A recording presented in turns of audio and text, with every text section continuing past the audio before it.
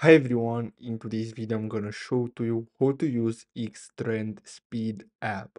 So you can use this app to uh, trade very easily. So you'll have to simply go to your Google Play Store or App Store and install the free app. And then if you want, you can create your account. Well, I already made a tutorial about this, so if you want, you can check that out. And basically, with this app, you can um, as you can see, it's perfect for retail investors who have just started their trading journey. Uh, you can receive a 20% cashback on every deposit, as well as additional rewards during the newbie period. You can follow a master trader in one click.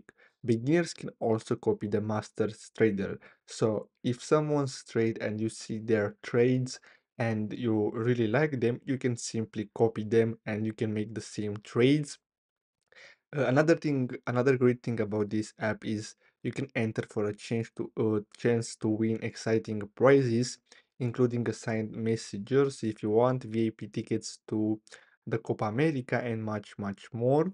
And as you can see, this app supports Forex, gold, stock futures, and other instruments. And as you can see, you can receive a free investment report. So the best advice for investor, one of the places to get investment advice. So I hope you found this video helpful. Thanks for watching.